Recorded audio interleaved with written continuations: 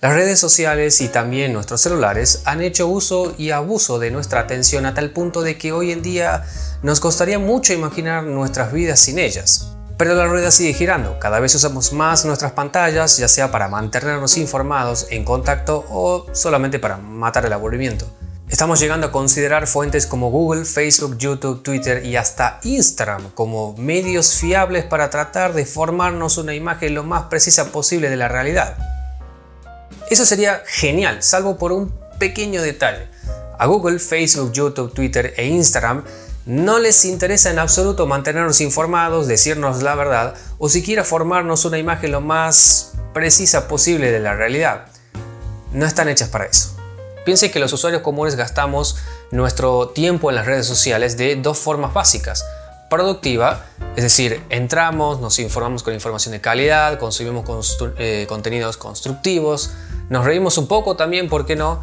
En resumen, salimos mejor de lo que entramos. Y la segunda es de manera improductiva.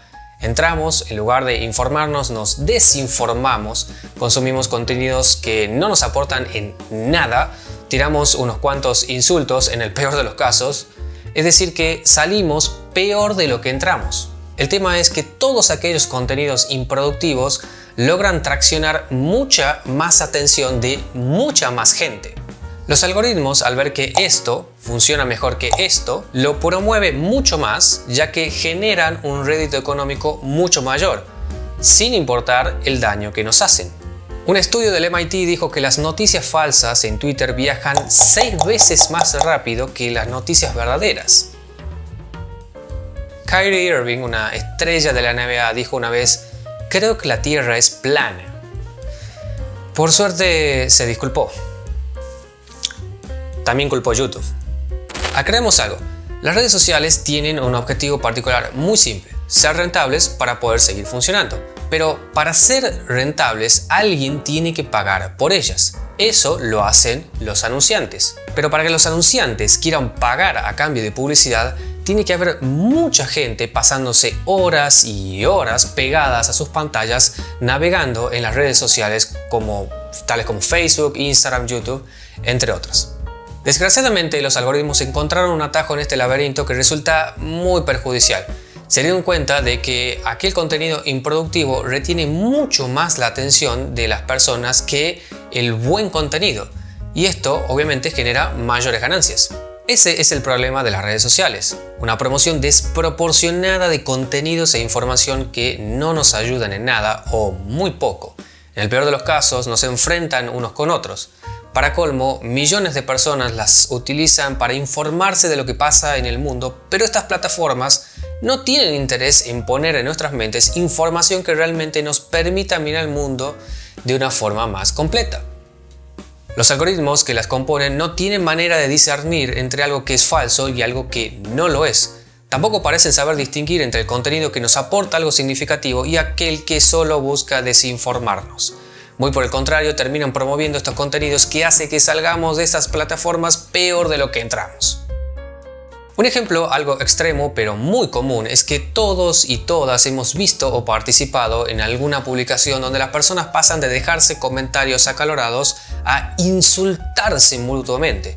Esto, claro, termina en una catarata de comentarios interminable, lo cual a las redes sociales, específicamente a los algoritmos, les encanta. No el hecho de que nos insultemos, sino mucha gente dejando cantidades obscenas de comentarios. Como verán, todo esto crea un gran problema porque le hemos dado el lugar privilegiado de ser nuestra fiel fuente de información y hasta de conocimiento a un grupo de plataformas sociales que responden a intereses completamente diferentes a los nuestros. Nosotros queremos que nos informen con información de calidad, en muchos de los casos, pero ellas nos muestran en su mayoría contenidos que nos manipulan para permanecer más tiempo dentro de ellas y así vendernos más publicidad. No me malinterpreten, no es que deteste a las redes sociales. Se han podido hacer cosas muy buenas con ellas, como promover causas justas por el beneficio de muchas personas. Eso es lo que creo que quizás les estamos dando un lugar demasiado privilegiado en nuestras vidas, considerando los intereses que persiguen. La mejor solución que tenemos ante esto es darnos cuenta qué quieren estas plataformas de nosotros y qué queremos nosotros de ellas. Las redes sociales no son gratis, aunque así lo parezcan. Tristan Harris, un ex desarrollador de Google, comenta que en la industria existe una frase que dice, si no pagas por el producto, entonces tú eres el producto. Ese es el rol que ocupamos dentro de ellas. Somos el producto, somos lo que venden comercializan con nuestra atención con el mejor postor. La pregunta es si nosotros queremos o no ocupar un rol diferente.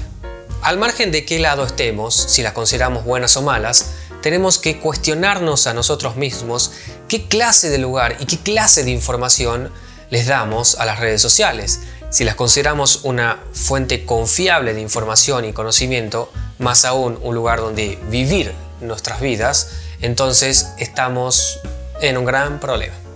Allá afuera existe un mundo mucho más grande y complejo que no cabe ni se puede entender a través de una pantalla. Simplemente seamos responsables y las usemos con inteligencia.